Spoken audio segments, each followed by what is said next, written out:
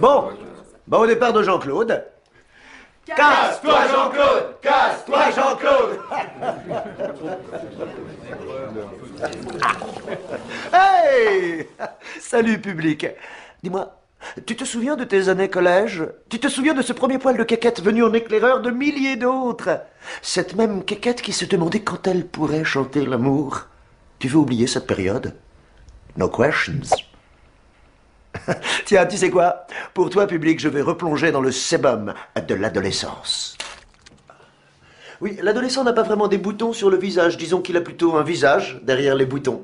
Des boutons que l'on appelle comédons. Tiens, celui-là, c'est le comédon Cousteau, avec le petit bonnet rouge.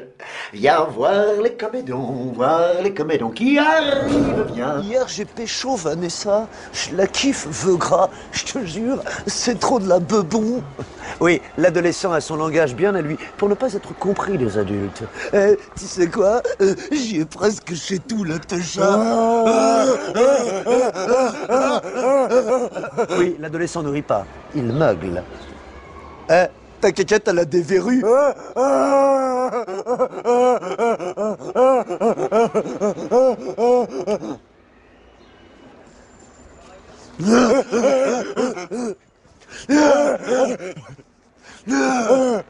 Ah oui, au fait, l'adolescent d'aujourd'hui est souvent malade. C'est pour ça qu'il est obligé de faire caca dans son pantalon. Comment? C'est parce que c'est la mode. Ah, Excusez-moi, ah oui, alors c'est la mode de faire caca dans son pantalon. C'est con comme mode, hein? L'adolescent d'aujourd'hui a parfois des petits problèmes paradentaires. Mais il est content. Oui, je disais. Oui, je disais, l'adolescent est content. Il sait qu'il aura de belles.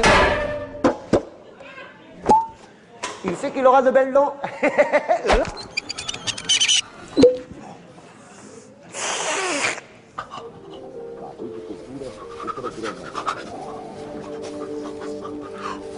L'adolescent vit dans l'angoisse, la peur de se faire piéger. Non, c'est pas moi, maman Je te jure, je me tripote pas le kiki Je révisais mes maths Oui, l'adolescent est un petit peu menteur.